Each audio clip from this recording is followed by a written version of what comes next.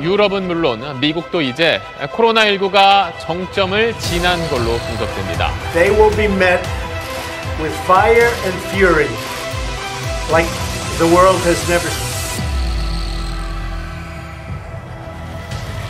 중국 권력 투쟁의 단면을 보여주고 있습니다.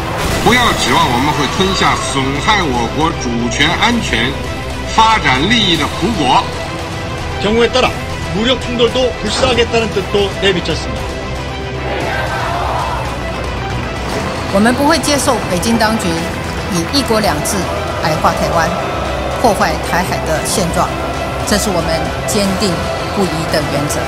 中国人民不信邪也不怕邪，不惹事儿也不怕事儿。